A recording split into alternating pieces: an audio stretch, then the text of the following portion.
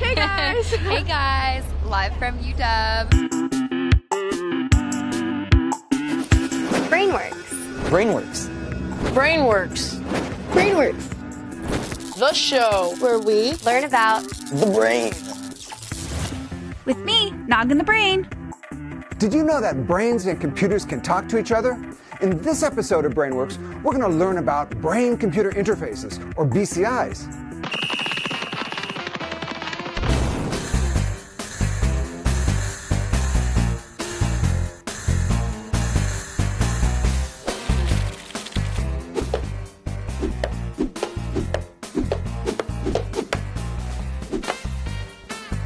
Welcome to Brainworks. My name's Eric Chudler. I'm a neuroscientist in the Department of Bioengineering at the University of Washington.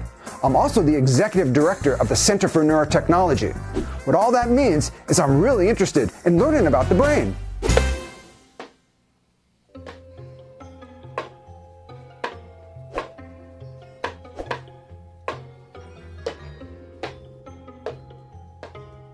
Hey, Jenna.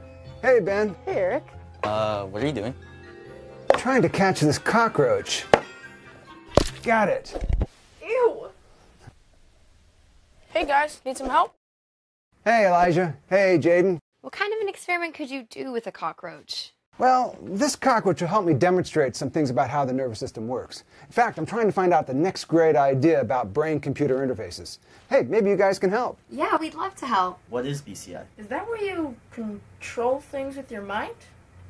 Or, you know, we could not do an experiment with a giant bug? Well, you see, every time you want to move your arm, your brain has to send an electrical signal down to your spinal cord, and then another electrical signal is sent down to the muscle of your arm, and that's how your arm moves. And also, every time something touches your skin, it works in the reverse way, in that electrical signals are sent from the skin to the spinal cord and up to the brain to tell you that something has touched your skin. So both your brain and machines, really, use electrical signals. So maybe you guys can help me with a new experiment. Yeah, sure. Yeah, of course. So why don't you grab some lab coats and some goggles and we'll get started. Okay,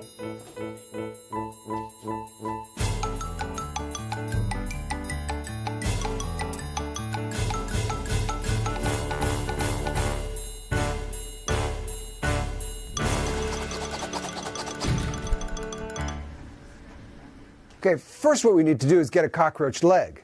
So I've got a cockroach over here, and what I'm going to do is I'm just going to take one of its back legs, snip it off, place it on this little board here.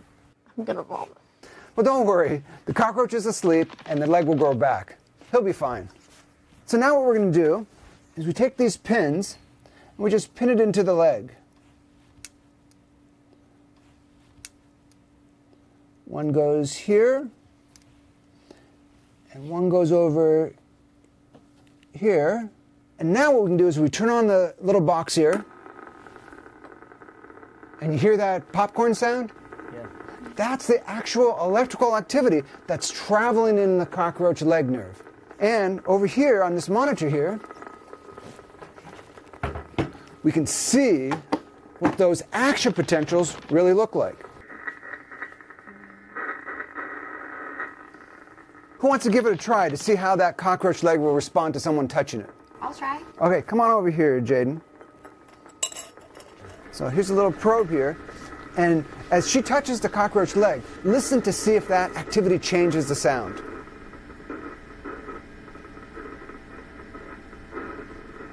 How is the leg still sending signals? Like, the cockroach is dead, right? Yeah, well, the cockroach isn't dead. The cockroach is recovering. But the nerves inside the leg still work, and they'll work for a long time. Nerves inside that leg, they're just waiting to be stimulated. So if I tap on it, those are electrical signals that are traveling up the leg. And if it had a brain, it would know that its leg was being touched. So does that mean our minds are electricity?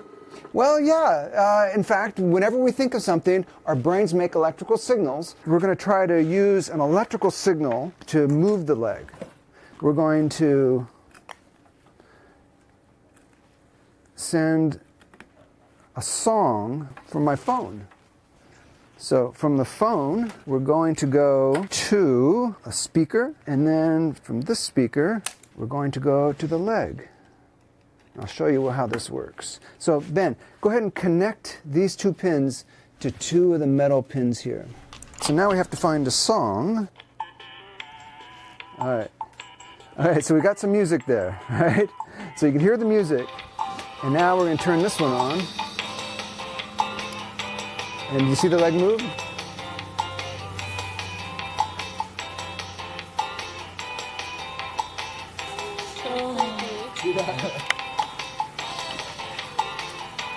What we were doing there is using this device, which sends electricity out to a part of the body, in this case, the cockroach leg, right?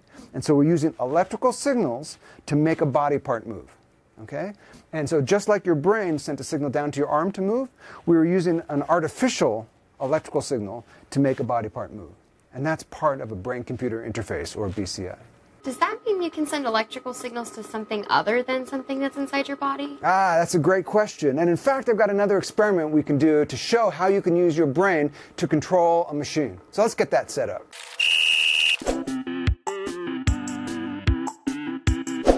How much does the human spinal cord weigh? 10 grams, 35 grams, or 46 grams? Stay tuned to find out the answer. Additional program support provided by the Dana Foundation, your gateway to responsible information about the brain. More at dana.org. How much does a human spinal cord weigh? 10 grams, 35 grams, or 46 grams? The answer is 35 grams.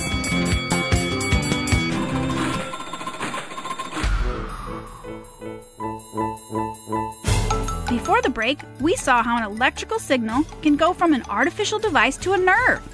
Now let's check out what else the human brain is capable of.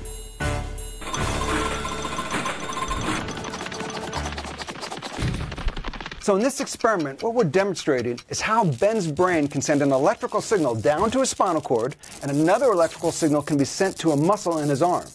And that electrical signal that the muscle makes is sent to this device, which is then sent to this gripper. All right, Ben, go ahead and make a muscle. Good. And let go. And make a muscle. And let go. Jaden, why don't you try giving him the ball? See if you can pick it up. Okay, grab it. And let go. Okay, again. And let go. So do you think you have pretty good control? Yeah. Yeah. And how about uh, make make uh, make your fingers move individually? So why do you think that's not working? Why isn't that making the gripper move either? Look, when I move his arm like that, why doesn't that cause the gripper to move? Because it's not his forearm, it's just his elbow. That's right, and because his muscles aren't being contracted. So go ahead and you make a muscle and see what happens. When he makes a muscle, that causes electrical signals in the muscles to be sent to this little computer here that are then sent to this gripper. So this shows you can use electrical signals that the body generates itself to make a device like this artificial hand to move. Does it work on any part of the body? How about the face? Yeah, we can give that a try. Uh, who wants to give it a try? And go ahead and make a funny face and try to get that to move. and then relax.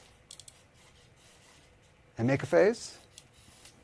And there you go. Any muscle that generates electrical activity can make things happen in the outside world. Yo, I want to try it again. That's okay. Yeah, sure. Hold on. And Jenna, you can just take those off. It's just like a little band aid, and we'll connect Ben back. And there you go. You're all connected. And see, he's controlling the lights too. Do you think it could be wireless somehow? Do you think I could control somebody else's body with my body? If you can move it from a body to a machine, can't you move it from a machine to a body? Yeah, those are all great questions, and it's going to take a bit more sophisticated equipment than what we have right here. But I've got a brain surgeon friend and a neuroethicist who can answer some of those questions. So let's go talk to him. Come on. Okay. Oh, guys, I'm I'm still here. I'm still strapped to the device. Um, guys. Eric. Anyone?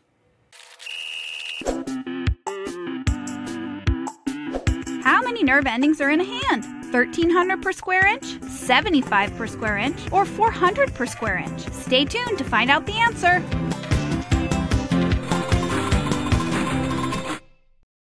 Additional program support provided by the Dana Foundation, your gateway to responsible information about the brain. More at dana.org.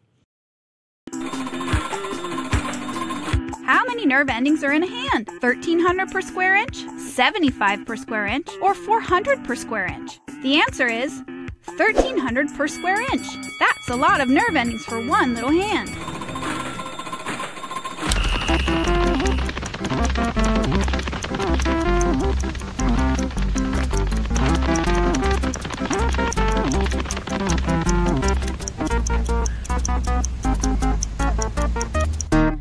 Dr. Ojemann. Hi, how you doing? I'm good. How about you? Good, come on in. Eric sent us to come talk to you. What do all these posters mean? Is that a human skull? What are those wires for? You guys have a lot of questions. Why don't you come sit down?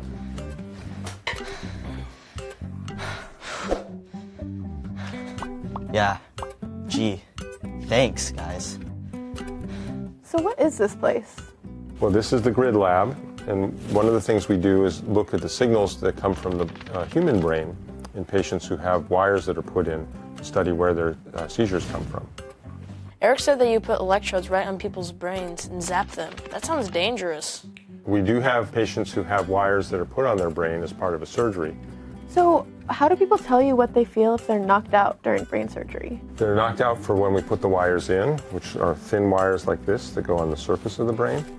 And then we can both record from these pads, but also put a little bit of current in there after the surgery. So they're awake. And the brain doesn't have any pain fibers on it, so usually it, they just feel a buzz or a tingle. What's that hand for? So one of the things that we want to know is how does the brain take in information? We can study how uh, sensory areas work by looking at what's called a rubber hand illusion, because the hand is rubber. And the illusion is that if I touch this hand while I'm touching your hand and your hand is hidden, you'll start to think that this is your actual hand. And you, you'll have a hard time convincing yourself that your real hand is back under the covers. Uh, and it's because the brain puts together where it sees you're being touched with where it feels you're being touched. And so one of the things we want to learn is how does the brain put all that information together? And that could be really useful if you had an artificial hand, because we want that to feel as natural as possible. Interesting. What else is brain mapping able to do to help people? It's been used for trying to recreate uh, vision. So if you uh, put a small amount of current on the vision parts of the brain, which are in the back part, you can make little bright lights. And if you make the current small enough, you could make part of a scene uh, visible to somebody who's blind. But there's a ton of the brain that we don't understand what happens when you stimulate, because a lot of times you'll put current there and nothing happens. But then if you ask somebody to do something, like talk, then it might be able to stop it. And so it's much harder to map because we don't even know what questions to ask. So, if we're gonna come up with the next big thing for BCI, we have to see it in action, right? Yeah, I think that's a great idea. What you should do is go next door to where my engineering colleagues are, and they can show you what we're doing. Great. Yeah, cool. Thanks, Dr. Good, Thank good you, to see you. Thank you. We heard that some researchers were using a BCI to play some sort of game here in the Computer Science and Engineering building. So we figured if you could use a BCI to play a game, you could use it for so much other stuff. So we're down here at the lab of Dr. Rajesh Rao to visit one of his students, Jenny Cronin. Let's check it out. Jenny? Yeah. Hi, Dr. Ojemann sent us. Hi, I'm Jenny. I'm Jaden. Nice, Nice to meet you. I'm Jenny. Elijah. Nice to meet you, Elijah. Ah, so what do you want to ask me about? So Dr. Ojemann showed us how you can put electrodes right on the brain and read it. How is that different from what you do here? Yeah, so what Dr. Ojemann was showing you is called ECOG or electrocorticography, and the le- electrodes sit right on top of the surface of the brain. But here we work with EEG or electroencephalography, and those electrodes sit on top of the, your skull. So right on top of your skin here, and you don't need surgery for it, which means that anybody, including one of you two, can try it. Um, so does one of you want to give it a try? Yeah, I do. Okay, so you're gonna pull it on over your ears. It's a little bit like headphones. There you go. How's that? Is that comfortable? Mm-hmm. Okay. Next, we're gonna tighten these electrodes a little bit. So these are called dry electrodes. So actually, Elijah, you can do this. you put it in right here. You can kind of twist these just to move Jaden's hair out of the way because we want to get some contact with her skin. It'll make it easier to record the signal. Awesome. Can you feel that on your skin? Yeah. Yeah? Okay. All right. So, Jaden, why don't you sit down here and we'll try this experiment. Okay, we got to clip these to your ears. And the experiment we're going to run is called a uh, SSVEP experiment, or steady state visually evoked potential. So these two cups here have LED lights in them. So they're going to flash at a certain frequency, which is like a rhythm that they flash at. And the um, our occipital lobe, which is in the back of our head, is the part of our brain that processes all the visual information that comes in. So can you like read Jaden's mind with that? No, we can't exactly read someone's mind. Our technology is not at that point at all.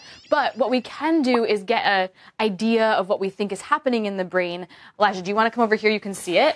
Take mm-hmm. a minute to run. Let's see what's. What you're going to see up here is a cursor, and it's going to move to the left if you look at this um, light, or it'll move to the right if you look at this light on the right. Since it's wireless, that means it, it's Bluetooth. Can it get interrupted? Yeah, that's a great question. So Bluetooth could get interrupted. Um, you could have a problem with just the computer connecting to Bluetooth, just like any Bluetooth device can have that issue. Uh, there's also some concern that whether it's maliciously or just unintentionally, a Bluetooth signal from a neural device could be interrupted, and it's causing a problem to the user, which would be a bad thing. So there's people in the neuroethics community here at the University of Washington and elsewhere that are looking into that and doing research on um, how we protect people who are using uh, brain-computer interface. Okay, so this is going to connect to the EEG headset. And then you're going to see a cursor come up here in a moment. You, for yes, you can look to the left or the left um, LED here. And the cursor should move to the left. So if you look here,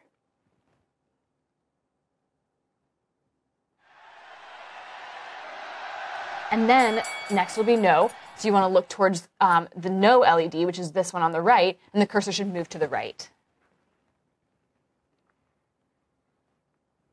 And Elijah, you can see those purple bars are moving up and down depending on um, what the program and the analysis uh, thinks that uh, what light Jaden is looking at. So we'll look to the left again on the next one.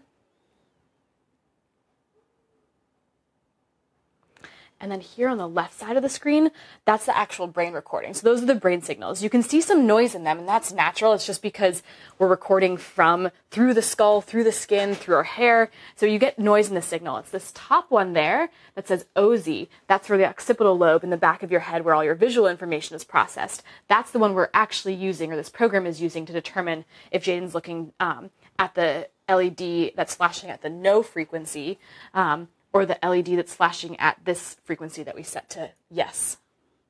So, what kind of information are you getting from this? You can imagine that someone, especially down the road, if we get better at using EEG signals, someone could use this to answer questions or to move a cursor on a screen towards one, like one flashing light frequency or towards another one to answer yes no questions. Um, if you're doing something like imagined motor movements. So there's other brain signals we can look at as well. There's some that occur if you're surprised about something or if a something flashes on the screen that you're interested in, and we can use those to help people that um, have some kind of uh, neurodegenerative problem or have had an accident and have are paralyzed. We use that to help them communicate. All right, so that ends it. So that did, uh, I think that does eight trials, and then it's recorded all the data, so we could look at it again if we wanted to. We could open it up in a different software program, or we can leave it just like this, and you've just interacted with that computer just by looking at these lights and then recording signals from um, from your brain. Okay, let's take this off. That was awesome. I, I can't believe you were able to make that cursor move with your mind. I mean, so cool. Yeah, that was really fun. Thanks for letting us try it out. I think we have another idea to bring back to the rest of the team. Awesome. Okay. Thank you so much.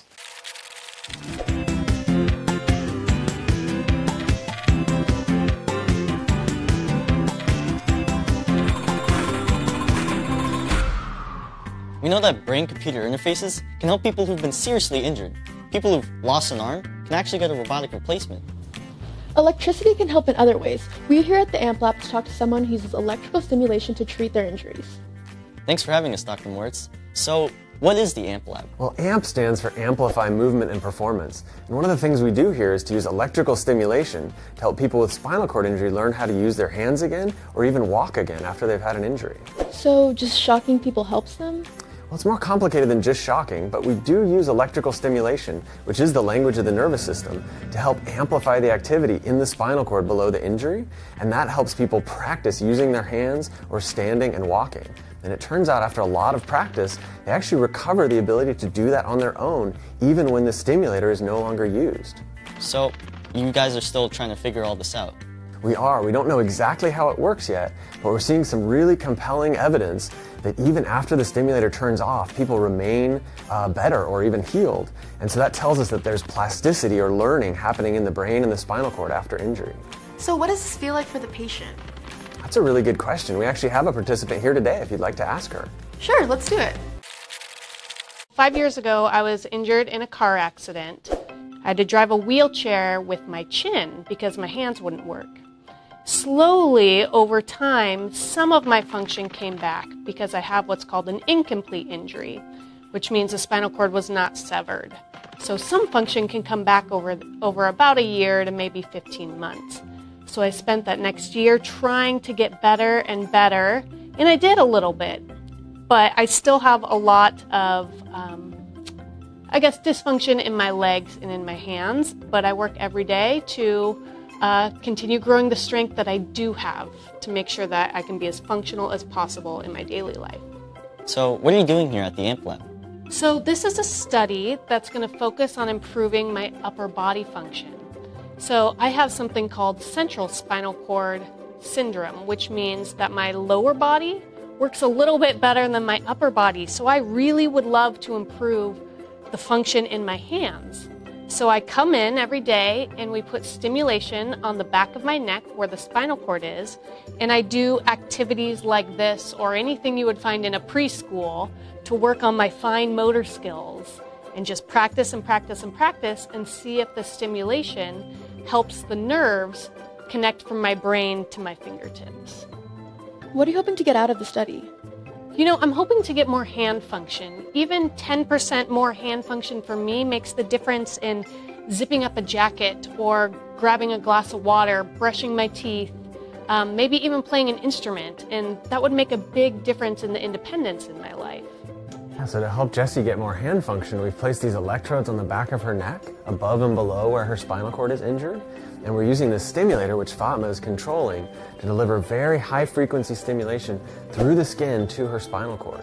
While the stimulator is running, Jessie works really hard to move her hands and practice new and challenging activities. And it seems like the combination of the stimulation and that practice is what might make Jessie better in the long term. What's next for this new technology? Well, in addition to helping Jessie's hands get better, we're also really interested in testing the stimulator to see if we can help people stand, balance, and even to walk. So it's possible that Jessie could participate in one of our other studies where we use the stimulator to improve walking. Well, thank you so much for telling us your story, and it was really nice meeting you. Yeah. Hey, let's go get Eric and the others. Okay, great. Bye. Bye. Thank you. later.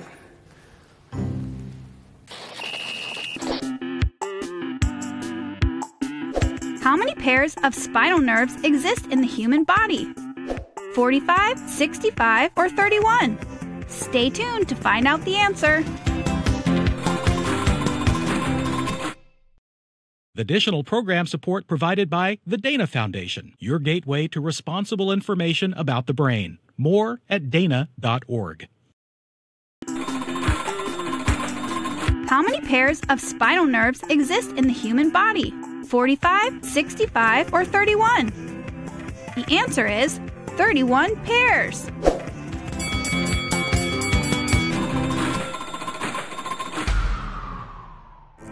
Now that everyone has seen BCIs in action, it's time to find Eric and learn what all of this means for the future. Welcome back. I'd like to introduce you to Sara Goering. She works in the Department of Philosophy here at the University of Washington. I hear that you guys have been touring some BCI labs here at UW. Can you tell me a little bit about what you've seen so far? Elijah and I saw how brain signals can actually be recorded. Jenna and I actually met someone who was in an accident and they use electrical signals to help repair their spinal cord. It's completely changed their life for the better. I do neuroethics in the philosophy department. And these are the kinds of things that we look at, trying to think about the design process for BCIs so that we can produce a device that's going to be really helpful and benefit people like the woman that you saw before, but that also pays attention to some of the what we might call side effects that can happen that could put people at risk in various ways. I think what's interesting is someone being able to hack into someone's brain or limb down the line when technology advances and becomes more developed. That could be a possibility and make people think, hmm, maybe I shouldn't get this new technology. So if somebody has access to what's going on in your brain, even though they can't really read it well and know details about your thoughts, you might want to have control over who knows. People that have more money have a lot more access or a louder voice to the new innovations that you and your group are working with. And so I'm wondering how you decide whether or not it's fair for people with more money or people with less money but still have the same problems get to um, have access to your program. Yeah, I think it's a really good question because in this case, even participating in research seems like it offers some sort of benefit, right? Because if the device is working, then you can control some things around you that you couldn't control before. And of course, right, the hope is that you can recruit people into studies that represent the whole diversity of, of the people in the nation rather than just the most privileged. But that it can be challenging to do.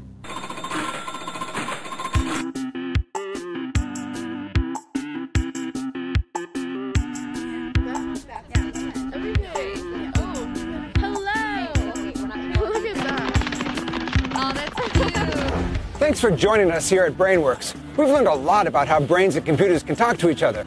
Yeah, both brains and computers send electrical signals to communicate. By connecting brains to computers, we can control things with our mind. This has really helped people struggling to recover from bad accidents. But we have to be careful when using this technology and that it exists for everyone. Thanks for joining us, and we'll see you next time for BrainWorks. I don't know about you guys, but I have a lot of research I want to do and some ideas I want to try. Me too. Yeah. Let's go. See you.